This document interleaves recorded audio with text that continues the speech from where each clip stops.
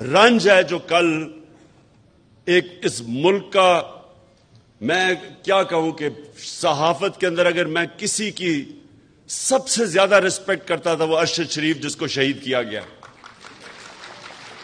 और ये समझना है कि ये क्या हुआ है।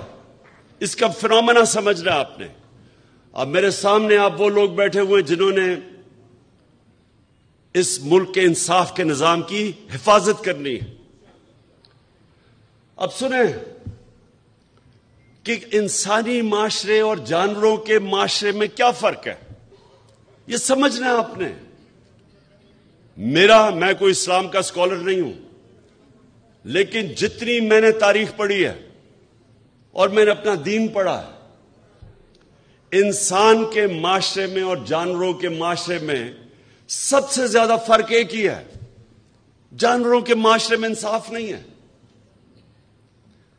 वहाँ जिसकी ताकत जंगल का कानून है, जिसकी ताकत उसका हुक्मरानी शहर हुक्मरान है क्योंकि ताकतवर है।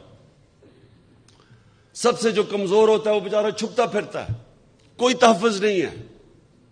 इंसानी माशरा इंसानी माशरा बनता ही तब है, जब कमज़ोर को ताकतवर से तहफुज मिले। कानून के सामने सब एक बराबर हो। इसको इंसानी माशरा कहते हैं। अंग्रेज़ी में रूल ऑफ़ लॉ कहते हैं।